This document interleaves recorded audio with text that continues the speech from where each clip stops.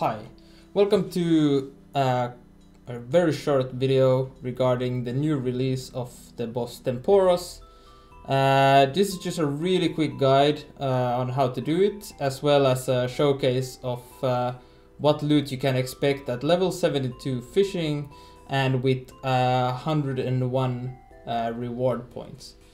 So first of all, it's it's in the desert that you can really easily get there through through Al Kharid. Uh, just south of the bank is is a boat there, and there's a fishing shop even though you don't need it, but uh, it's there anyway. The recommended gear is on the screen right now, and uh, the more fishing gear you got, the better, but you don't need it. Everything you need is on that ship. Uh, that includes a harpoon, fishing net, uh, actually, you don't need a fishing net. You want to uh, change that to a hammer, uh, bucket of water, and a rope. Uh, that's all you need for for this uh, minigame. So what you do is you start fishing uh, for those harpoon fish, and uh, there's two kind of fishing spots. There's one that has a chance to give double, and that's the one you see on the screen right now with the jumping fish. So there's a chance to get double fish, which means you you collect them faster.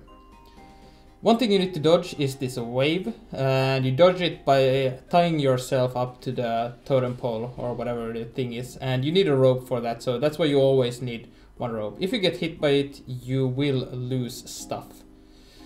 Um, after you finish, um, or actually there is uh, another mechanic there, as you can see on the screen right now, which is the thunder cloud.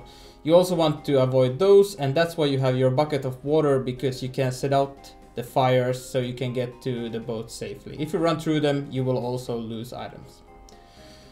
Uh, here you can see these spawns uh, spawn at, at uh, predetermined intervals, so they're kind of easy to predict once you once you know how the, the game works.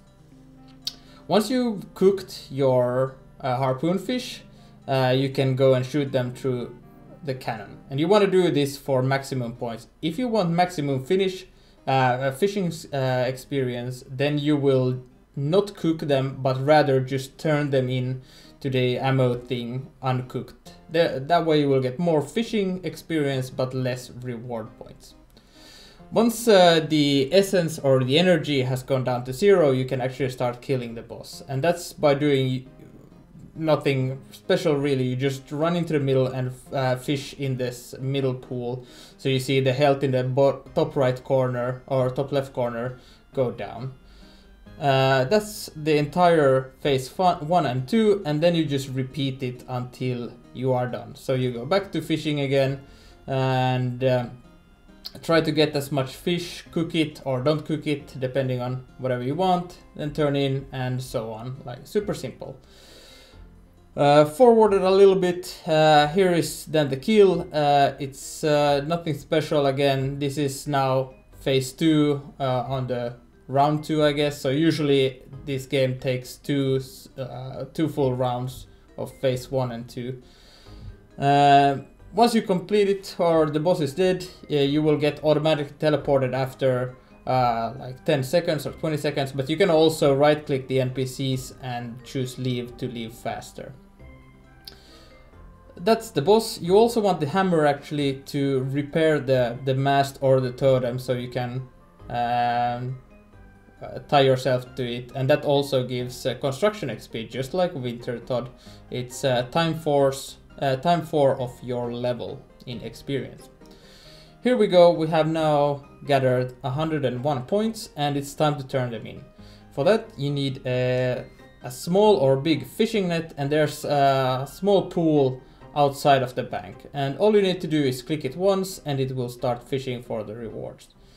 And I have now sped up the clip for you so you can see what I'm getting but here is uh, the potential loot that you can actually get. So obviously you you want the the rare stuff we have the Tome of Water and all of this kind of new stuff that you could you can check up on on the wiki and on what they do and and pets and so on.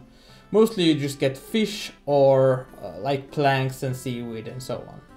You can also get caskets and this is what uh, the caskets can include as of right now. Just some basic stuff.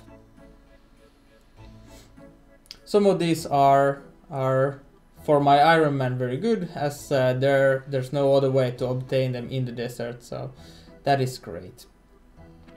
Here's the final, actually not the final one, but we still open the caskets and uh, we got pretty mediocre loot considering we can get like 30 to 40 points an hour so this would have been like uh, I don't know 60 no maybe 100k an hour in cash so nothing special right now. And but this was at 72 fishing keep that in mind. Anyway thank you for watching. Leave a like. Thank you. Bye bye